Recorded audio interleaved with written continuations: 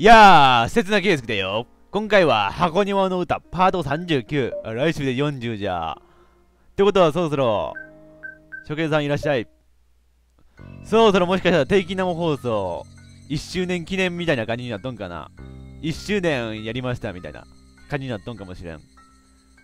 前回のおろすじなんか、神社の方に幽霊が現れるっていう噂が学校中で広がりました。しかしその幽霊っていうのは敵のことやっていうことを分かっていますから、その敵を倒そうという。えーと、前回のあらすじ、まあ、敵がちょっと神社に現れるみたいに先回りして、誰が、誰かが来る前に先に倒してしまおうって魂胆でこんなとこにいますが、そこにクリスさんがいた。妨害しにクリスさんが来た。そんな感じです。と、茂みの奥からクリスさんが現れた。その手には拳銃が握られている。もう完全に臨戦態勢、臨戦態勢、万、万全ですや。こっち子供ですよ。何の、何の力もない子供ですよ。小鳥ちゃんめちゃくちゃすごい力持っとるけど。その黒い塊を見て、僕の心臓が高鳴り始めた。やらせない。やっぱりクリスさんは敵を残すタイプの人人ですからね。クリスさんはひどく疲れた顔をしている。なんかあったん？徹夜したん？もしかして徹夜して、お前、深夜のアニメとか見まくっただろう？お前結構そういうところあるんか？そういうオタク的なところあるんか、お前。拳銃を持つ右手も震えていた。ん？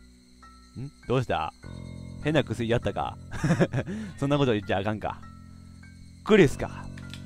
くっ銃口をイーナさんへと向け、クリスさんは顔を歪める。小鳥、落ち着いて考えろ。言いくるめられてんじゃねえよ。これまでの話聞いとったんや、あんた。え？お前が情報を保有個体を倒せば、また人類が救済救済される可能性が下がるだけだぞ。何が正しいか、しっかり考えて行動しやがれ。え？クリスさんの言葉に、小鳥の動きが止まった。でも、この緊迫した空気の中、銃を向けられているというのに。イーナさんすごいポーカーフェイス。イーナさんの顔には一切焦りの色が見受けられない。それはあれか、姉としての弟ならこんな状態では撃たないっていう確信があるタイプのやつか。すると、イーナさんは僕の方を見て、まるで笑うように、えっと、なんて読むんこれ。口角って書いてなんか骨格か。骨格を上げた。りょうすけ、いいことを教えてやろう。いいことこんな時に全然いい状況じゃないのにいいことって何ですか？え？まさかそのいいことってそう、クリ、え、え、そういうちょっと、え、大人の女性としてのいいこと、え 夜だからってこういうの言うのやめとこ。ああ、台風の日、なんで私がお前の電話に出なかったのかについてだ。え？え？そう、それでなんで今？クリスたちはこの島に自分たちの海上輸送ラインを作ろうとしていた。海上輸送ライン、物資とかを届けたり、ああ、そういや、言ったな。なんか敵の犠牲になる人を輸送するためのやつみたいなこと言おったけど、それのことかな。は、はい。それは聞いています。そのラインを使ってクリスさんたちはこの島に被験体を連れてくると話していた。あその被験体っていうのがあの敵の敵を観察するために犠牲になる人たちってことなんやけどね。それはこの前、この神社でクリスさん本人から聞いた話だ。あの台風の日、私たち RCH はかなりの人員を割いて、そのラインを潰しにかかった。マジで？え？この島の構成員だけじゃない。本島にある本部を含めた大きな作戦だ。おかげでラインを潰すのに成功し、クリスたちの増援を抑制することができた。くそれじゃあ、そうだ、クリスの言っていた被験体がこの島に来ることはない。少なくとも RCH がこの島の敵を全て買い尽くすまでは、な。完全にクえ RCH 優先やとんじゃ。その口調は得意げにさえ聞こえる。なんでそんなことを敵を倒すのが人類のためだと、正義だと。信じて疑わないからだ。くガチャ。イーナさんの言葉にクリスさんは銃を構え直す。何が正義だ。姉さんの行動は全部支援じゃないか。恋人を敵に殺された恨み、あんたの行動理念はそれだけだ。あ、視聴者さんにとってはこの恋人を敵に殺された恨みっていうのは、え、何のことって思うだろうけど、俺にとっては何のことかわかるんですよ。すべては、その、その内容のすべては、あの、牢獄の庭っていうゲームの中にあります。牢獄の庭っていう箱庭の歌の、えっ、ー、と、前の話になるんかな？があるんで、そっち、YouTube で俺その実況をすでに完結させてるんで、よければそっちの方も。え？イーナさんに、そんなことが、ああ、はやっちゃんやな。はやとくんやな。叫び散らすクリスさんを意にも介さず、イーナさんは落ち着いた口調で反論する。それはきっかけにしか過ぎないよ。前にも言っただろ。え？銃を構えているというのに追い詰められているのはクリスさんの方にしか見えない。例えるなら火曜サスペンスのガキに追い詰められた犯人というところか。言い事さないクリスさんから視線を外し、イーナさんは小鳥の方へと顔を向けた。あ、知っとる人おるんじゃ、はやっちゃんのこと。あ、よかった。廊下の庭見てくださった人おるんやね。ありがとうございます。あ、でも俺の動画とは限らんのか、これ。俺の動画とは限らんのか。これを見てわからないか？小鳥。何が？クリスは被験体を用意する。そう言って、お前たちを説得した来たはずだな。う、うん。でもそれは無理だ。RCH がそうはさせないからな。そこだけ聞いてたら、いいな方が、悪者に聞こえる。そうやな。これだけ聞いたら確かにいいなの方が、いいなさんの方が悪者に、あ、俺のだった。やったー俺のログのには見てくださったんだ。ありがとうございます。重要なのはそこじゃないさ。今のこいつの行動をよく見てみろ。え？クリスは銃を片手に私たちを脅して敵を駆除させまいとしている。その結果、この後はどうなる？被験体が用意できないのであれば、島の住民を敵と接触させるしかない。こいつらの考えは、こうさ。結局優先すべきは人ではなく実験。事情が変わればすぐそれまでやらないと言っていたことも平気でやるし、現に今も。島民と、島民でいいかな島民と敵と敵を接触させようとしている。そうだろ？クリス。いや、それ結果論じゃん。それ結果論だと思うよ、俺。イーナさんが計画歪めた件だと思うよ。いや、俺クリスさんの方に作っては言ってないよ。言ってないけど、ちょっと客観的に見ればそう見えてしまうんだよな、俺は。みんなはどうかな？くまあ確かにそうやけどな。クリスさんもそうかもしれんけど、苦虫を、えっ、ー、と、噛みつぶしたような顔でクリスさんは、眉間のシワを深くする。銃を持った右手で、えっ、と、真横の木を蹴りつけな、えっ、と、殴りつけながら、クリスさんを叫んだ。姉さんたちが邪魔しなければ、さえしなければ、こうはならなかった。そうだろう。ん、俺もそれを思った。てか、それを言った。結局、どっちが正解でどっちが悪なんかわからんとこなんよな。甘いんだよ、お前は。なんだと？本気で被験体をこの島につけてくるつもりならいくらでも方法はあったはずだ。そこまで本気じゃなかったら私たちに潰される。結局、今みたいな状況に陥っても、まあ、島の人間を使えばいいかって、最初から思っていたんだよ。あ、なるほどな。違う違う。そう。確かにクリスさんはそんな風には思っていなかったはずだ。あ、そうやっけ？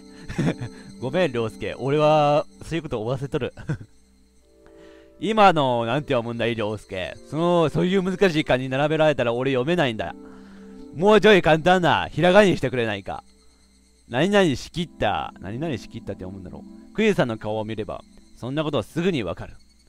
悩みに悩んで出したうまくいくと思っていた方法をイーナさんたちに潰され追い込まれそれでも従えっ、ー、とえー、何やったっけ？抗わなくてもいけないかなその思いから苦しみまた悩んだ結果が今のクリスさんであるはずだった。きっとイーナさんだってそんなことは分かっている。だとしたらなんでそんな風に言うのか。きっとそれはイーナさんはクエさんとのやりとりの中で小鳥に暗示をかけているのだ。イーナさんメンタリストでもなったつもりなんか。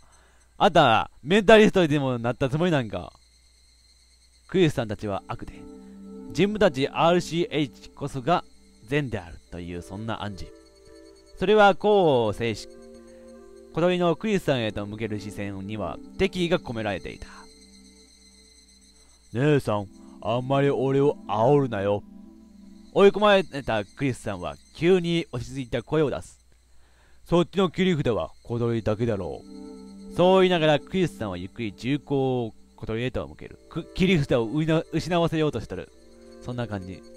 クリスさん。うるせえ。小鳥ちゃんを守るなら俺は容赦せんぞ。って俺がこの場におったらそうする。でもいない。ゲームの世界だからね。本当ですね。これはどっちが正しいのか分からんようになってきた。いや、もしかしたらさ、あの、正義の敵は、ね、また違う正義って言葉があるけどさ、悪の敵やさらに違う悪みたいな感じになってきとんよね。どっちに従えばいいかって言ったら、どっちも従う方がいいような気がして出てくるレベル。その迫力に思わず口をすぐむ。小鳥さえ殺せば、RCH はもう敵を倒せない。一触即発の空気の中。それでもイーナさんはどこまでも落ち着いている。なあ、クリス。私はお前に何度でも言ってやるよ。甘いんだよ、お前は。そんなことないクリスさんが歯を食いしばった。その瞬間、グガうめき、えっ、ー、と、なにこれ。うめり声かな？ちゃうな。え？何り声？を上げて、クリスさんはその場に崩れ落ちた。え？わけがわからないまま、僕はその光景をじっと見,、えー、じっと見つめていた。言葉も意識もなく、クリスさんは地面に横たわっている。麻酔銃？イーナさんもしばらくクリスさんを見つめていたが、思い出したかのように茂みの奥の方へと声をかけた。もう一人の人物。お疲れ。声をかけた先から男の人が顔を出す。はあ、パラ、えっと、パラライザーとはいえ、イーナさんの弟を撃つっていうのはどうもね。誰？よく見ると RCH の臨時支部で見たことのある人だった。名前のない人かいいやいや、俺ちょっと頭の中で大野さんのことを思い浮かべとったよ。え、もしかして大野さんこういうすごいことできる人なんて思っとったやん。あるやん、あの、めっちゃチャラく、チャラけた人がさ、めちゃくちゃ特殊技能、スナイパーライフルをうまく扱えるみたいな人がおるやん、コナンとかで。大野さんじゃないんかい 悪かったな、急に。まあ、いいっすよ。この後は、どうですか？いいっすかシェフに連れてって、一応拘束しておいてくれ。いいっすか？そんなことして、上の方は大丈夫っすか？先に喧嘩打ってきたらクリスの方だ。それに、すぐ返してやれば、相沢家も文句言わないだろう。誰その相沢家って？相沢って名前の人おったっけな？そもそも相沢家にしたって、こちらの行動を全面的に支持しているわけじゃないしな。じゃあ、もうだ、とりあえず連れて帰りますな。スタッフの人はクリスさんを肩に抱えて、来た道を戻っていく。あっけに取られ何もできずに僕は固まっていた。あ、イリナさん。なんつうか、こんな人だったんやなっていうちょっと失望感があるね。さあ、小鳥は敵を倒しに行け。早くしないとこの島の住民が来るぞ。え？うん、それそんな反応になるわ。動揺した様子のまま、小鳥は茂みの中へと進んでいく。黙って僕はそのお店を見送った。危なかった。ですね。ん危ない？何が？何これ？かえー、飯田さんラスボスみたいな仁王立ちしてるやん、今。いや、普通な立ち方しとくかもしれんけどさ、オーラがもう仁王立ちみたいな、呪術立ちみたいな感じになってますやん。俺には見えます、そのオーラ。そう答えるのはなんとなく分かっていた。下手をすれば小鳥が撃たれていたかもしれない。そんな場面。イーナさんの余裕な表情は、僕の神経を逆なでした。避難めいた僕の視線に、イーナさんは肩をすくめる。だってこれさ、言ってみれば、小鳥ちゃんをさ、あのー、犠牲に仕掛けたもんやな。なんつうか。たとえ銃を持っていようが、クリスはクリスだ。あのアマちゃんに人なんて撃てないよ。本当にそうですか？あのままだったら小鳥は撃たれていたんじゃないだろうか。少なくともそう思われる程度に、あの時のクリスさんは狂気じみた顔をしていた。いや、甘々だよ。あいつはいつだってね。本気で自分の信念を貫きに行きたいなら、さっさと小鳥を殺せばいいんだ。私に脅しなんて効果はない。殺せばうまくいくと思ったのなら、私を脅すんじゃなくて、さっさと撃てばよかった。そんな、クリスが言っていただろ小鳥は RCH の切り札だ。この世界で小鳥だけが敵を倒せる唯一の手段。だったらその小鳥を殺してしまえば敵なんていくらでも調べ放題。いや、そうやけどさ、それを淡々と言ってのけるイーナさんなんなん？もちろん、あっちにも言い分はあるだろう。もしまた P ショックが起こったとして、小鳥がいなかったら大変なことになるとかな。でも、やっぱり甘いんだよ、あいつは。私と同じ土俵に立てるだけの度胸がない。優しさを切り捨てずに何かをなすことなんてできないのさ。確かに、イーナさんはまっすぐで迷いない様子が見て取れる。でも、あまりにまっすぐすぎて、僕はなんだか怖かった。そうよな。草をかき分けて、小鳥がこっちに戻ってくる。敵、倒した、いつの間に小鳥ちゃん、早い早いよもう俺、開始でできたよ。スレッガーさん、早い早いよみたいな感覚やで。でも、小さいやつだった。あ、そうなんだ。そうか。よくやったな。そう言って笑うイーナさんの顔がしばらく頭の中に残り続けた。なんなんだ、これは。あこんなところにいた誰だ貴様はすっかり日も落ちて暗くなった斉田島。名前も出さずに、そんなセリフを言うな。誰の声でやればいいかわからんやろうが。学校に戻ろうと、小鳥と二人で歩いていると。もう、休養だって、休養って何だったのよ？い、い、いずきだったんじゃ。さっきの声、いずきだったんじゃ。完全に男っぽい声で呼んだような気がする。頬を膨らませたいずきと遭遇した。ああ、ごめん。ちょっとね。っていうか、やっぱりあんたたち二人で何かしてたのね。何をしてたのかしらやめろ、いずきそんな、二人でイチャイチャしてた。これからもしかしたらラブホテルに行くんじゃないの？みたいな的な目線。行きたいよ。18歳以上だったらね。俺らが18歳以上だったら行ってたよ。けど俺らは中学生だぞ、お前。勘違いするなよ。いや、あの、別にやましいことをしていたわけじゃ。だったら行ってみなさいよえー、っと、言い訳に困っていると、えずきが、出ないわ、小鳥がえずきに尋ねた。他のみんなは？え？ああ、今はみんな夕飯、夕飯を食べに行ってるところよ。な、に、か。そんな可愛らしいこと言い方しないでよ。反応に困っちゃうよ、白ささん。食べ終わったらまた集合して神社に行こうってことになってる。あ、結局みんな行くんやな。えー、っと、流星群見に。あんたたちももう用事とやらは終わったんでしょ？ま、まあ。じゃあ行けるわよね。うん。あっ、そ。じゃあ夕飯済ませたら学校集合ね。わかった。一度家に帰って夕飯を済ませ、学校に向かって歩いていると。あっあひよこと出くわした。おい、ひよこちゃん、こんなとこ、こんな夜道を一人で歩きよったら誰かに襲われるぞ、お前。誰か親と同伴の方がいいぞ。あ、でもクリスさん、捕まっとうけんな。ええー、っと。その気まずそうな態度はクリスのことですか？ま、まあね。もう聞いてるんだ。それはまあ、一応組織の一員ですので。だよね。さて、どうしたものか。こういう場合、どういう風に声をかければいいのかわからない。本当にもうクリスはダメダメですねこんなによう笑顔で言えることやな。困っていると、ひよこがそんなことを言い始めた。せっかくひよこが非人品必須を覚えたいと言うのになんで悪いんですかもう口ぶりからするに、ひよこはあの場に呼ばれていないようだった。ひよこさえいなければこの日なんていやひよこさえいればこの日なんて簡単にどうにもできたのに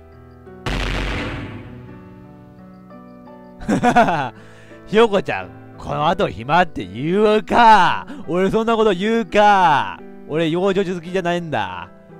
あ、でも、小鳥ちゃんのにだったら言うかもしれん。小鳥ちゃんだったら。どういう思惑があって、クリスさんがそうしたのかはわからない。でも、ひよこは心当たりがあるのか、複雑な表情をしていた。きっとねひよこが最立島を楽しみにしてると思ったんですよ前にも言ったでしょひよこ学校がやってないし友達もいないってクリスはダメダメだからそういうの気にしちゃうんですよここ最近のひよこクリスは多分楽しそうに見えたんでしょうねだからクリスは今日ひよこ呼ばないで一人で行っちゃったんだと思いますいや、ダメダメなもんじゃないよ。完全に妹思いのいいお兄さんだと思う。見た目と喋り方だけで言えば、クリスさんはすごく怖い人だ。だけど、本当はそうじゃない。未知の病気から人類を守ろうと必死で、そのためには犠牲が必要で。そのことでたくさん悩んで、それだけじゃなく、ひよこの日常も奪っていることにも悩んで、イナさんのように目的のために霊獄にはなれず、でもそうならなくてはいけない葛藤にも襲われて、悩み続けて、迷い続けて、そんな感じだから、イーナさんには甘いと言われてしまうけど、でも、ダメダメなんかじゃないよ。いいかいいいセリフ浮かんでもたいいセリフ浮かんでもた続けます。えクリスさんは全然ダメダメなんかじゃない。クリスさんは誰より必死だし、誰よりも優しい人だよ。そうに違いなかった。ひよこは黙ったまま僕を見つめている。それからしばらくして、視線を下げ、ぽつりとつぶやく。いえそんなこともないですやっぱりダメダメですよその目は少し潤んでいる。でもでも、クリスは優しいお兄ちゃんなのかもしれないですひよこは笑顔でそう言った。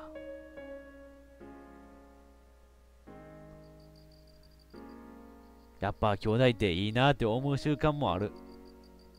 イーナさんがちょっと、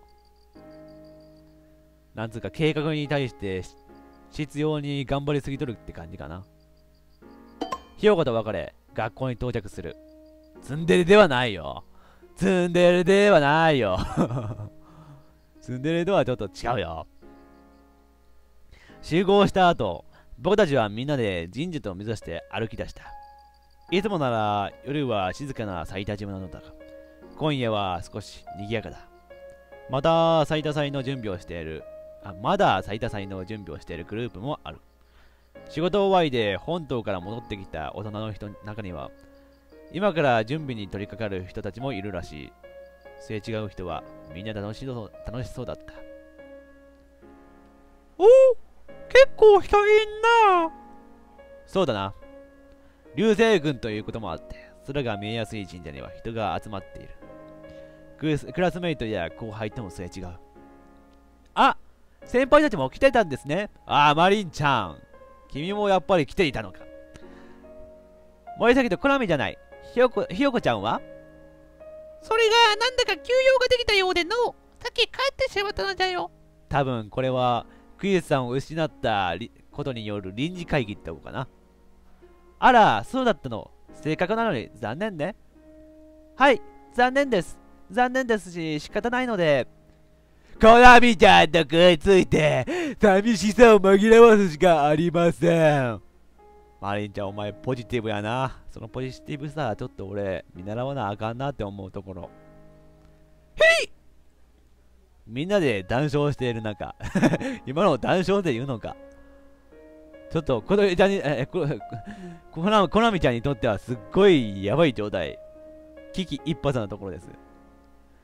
小鳥の顔はどこか浮かばない。小鳥え？どうかした？いや。まあ、浮かばない顔も仕方がないか。あんなことあったんじゃな。自分の信じとった人が、あんなに冷酷で人を追い詰める人だと思ったら、そりゃそうやな。さっき、この場所で小鳥は、稲ナさんに何も考えるなと言われたも同然で。敵を倒す正当性を見出せないまま、長江のままに敵を倒してしまったのだから。小鳥、あのさ、うん。小鳥が敵を倒したから、みんなはこうして今、ここで笑って空を眺めていられるんだ。だから、小鳥のしたことはきっと間違ってないよ。うん。まだ迷いのある顔つきのまま、小鳥は空を眺める。すると小鳥は、ハッとした顔で声を上げた。あ僕も釣られて空を眺める。見上げたタイミングで、星が流れた。おおえ、何?もう流れ始めてるの?みんなも慌てて。星が流れ始めた夜空を見上げる。お今ナッチで流れたぜえ嘘私分からなかった。あ流れたな。ちょっと、あんたたちばっかりずるいわよ。いやそういう思うならずっと上向いていろよ。あの、みんな、みんな、楽しんでるところすまないんだが、俺、もう少しで、あと40秒でこの枠終わるんだけど、そろそろ、ちょっと会話やめてくれないか。セーブのポイント作ってくれないか。む。あ、流れました。流れたんはいいよ。セーブ、セーブしたいんだよ、俺。また？中途半端なとこでセーブしたくないからね。いずねは流れ星が上手じゃの流れ星が下手って何よみんな楽しそうだ。僕たち、はよ終われ、はよ終われ、はよ終われ、終わるやん、生放送。というわけで今回はこの辺でご視聴ありがとうございました。えっ、ー、と、兄弟の関係、あ、あ、終わった。終わってもだ。終わってもだ。バランス悪。俺、枠終わらせるバランス悪。まあいいや。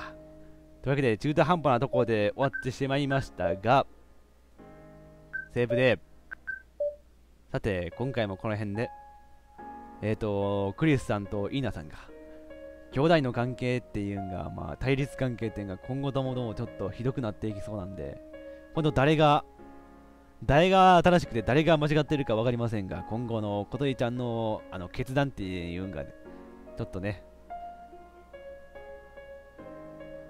楽しみです。というわけで今回はこの辺でご視聴ありがとうございました。週上げ